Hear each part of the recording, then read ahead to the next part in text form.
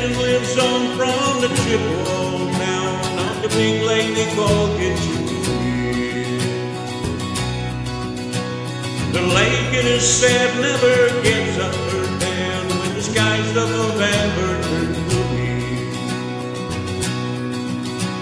With a load of iron ore, 26,000 tons more, and the Edmund from Chippewa waiting. That good ship and true was a supposed to be true when the gales of November came early. Ship was the pride of the American side, coming back from some mill in Wisconsin. As the big freighters go, it was bigger than most, with a crew in the captain will season, concluding some terms with a couple of steel birds, where they left me loaded for Cleveland. And later that night, when her ship's bell rang, could it be the north wind they've been feeling?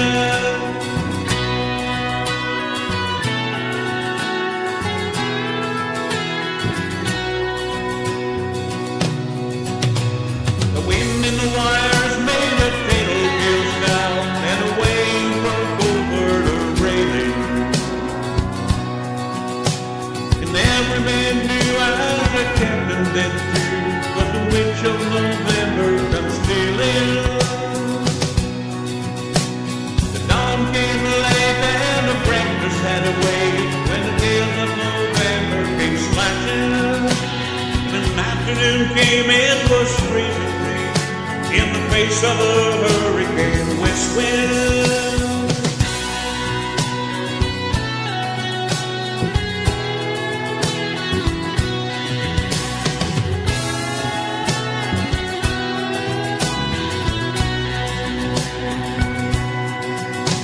When supper time came, the old cook came on deck saying,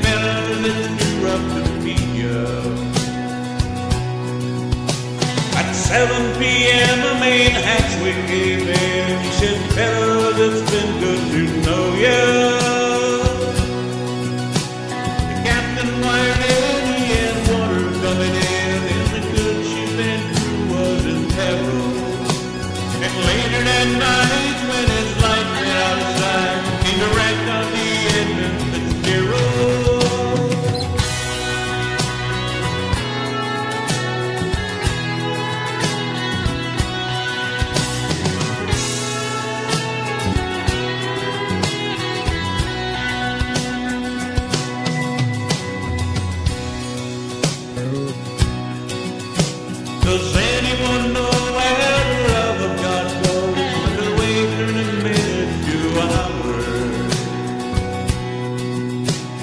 Searchers all say they'd have made Whitefish Bay if they'd put 15 more miles behind her.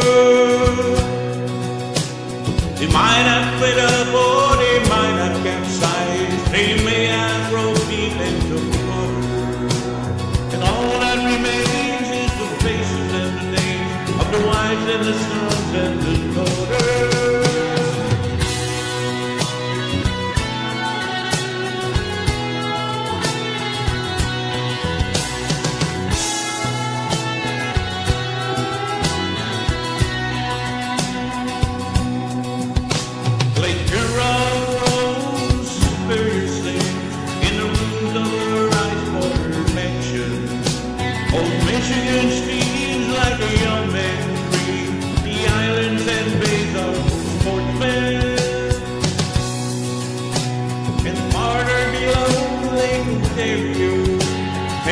what Lake Erie can send.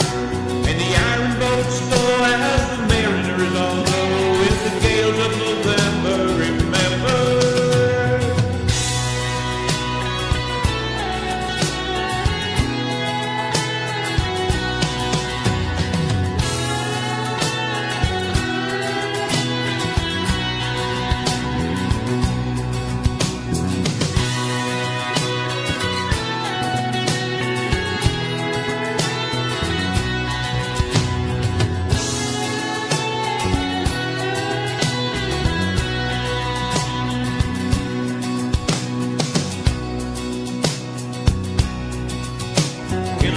musty old old